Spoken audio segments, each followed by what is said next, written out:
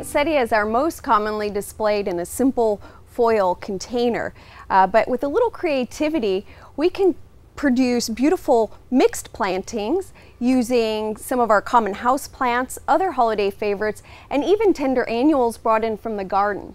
Um, one of the best pairings and simplest are two holiday favorites, the Norfolk Island Pine and poinsettias. They look beautiful uh, displayed together in a large container. Here I have a little asparagus fern to accent it. It even has some beautiful red berries to add to that holiday festive look. Uh, another just common house plant, the Dieffenbachia, with its beautiful variegation, really provides a nice stage for a deep red poinsettia. Here we're using the Christmas rose. As an uh, understory, kind of in the garden, we might use a ground cover. Here I have a spider plant and coleus cutting um, that we took in from the garden to create a nice accent for that mixed container.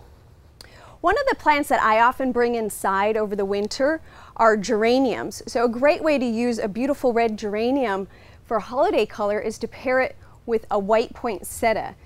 There's a lot of new cultivars with some uh, striking colors, very bold. Um, this pink is very intense. It looks beautiful against tropical houseplant. And here we have this lemon cypress and that chartreuse and pink play off of each other very nicely. Also, the cypress alone has a nice pyramid shape, uh, beautiful for a holiday planter, and it has a lovely fragrance to it. Again, we brought in some coleus cuttings out of the garden, and they just work perfect to flank a container and just add a little more color, a little emphasis. Here we have a begonia, and that purple from the coleus is pulled out uh, in that uh, foliage. The variegated poinsettia looks beautiful with our rosemary tree. This is another pyramid shaped uh, plant you could find for the holidays. Also very fragrant and of course safe to have in the house.